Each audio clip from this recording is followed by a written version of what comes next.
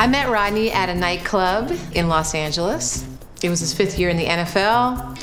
And we kind of sort of got set up on a blind date. It was one of those kind of social settings where you sat at the same table with people that you didn't know. And this girl ordered a whole bunch of french fries and put ketchup and hot sauce all on the fries and eating it with both hands and not even worrying about what she was looking like because I don't think she was really interested in me, but I was certainly interested in her. It was definitely not love at first sight by any stretch of the imagination. As a matter of fact, it was, I'm not trying to hang with no football player at first sight. It was, I'll have another order of french fries at first sight.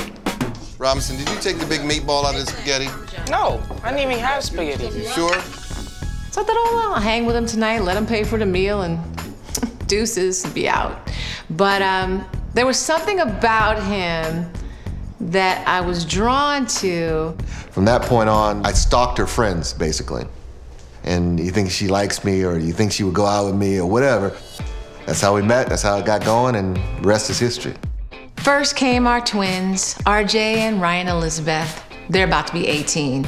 And then came our middle child, Robinson. He's 12. And then my baby, Roman Matthew. He's 10. Okay, table topics. Golf Whoa, tournament. fingers? What else am I supposed to use? I got one that says, "What would be the best and worst, thi- worst things about having a twin?" The best thing about having a twin, the connection with Ronnie that I have. RJ, what's the best thing about having a twin? Her? Mom. You just pointed at sister? Yeah. Table Topics, is just our way to get our kids to engage with us at the dinner table.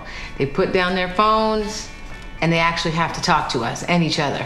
Imagine that. And it works. Hi, YouTubers! I'm excited to give you an update about our own YouTube channel.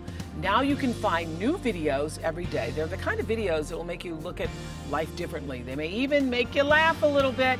Who doesn't need a daily dose of that? So here's just a taste of some of what you'll see.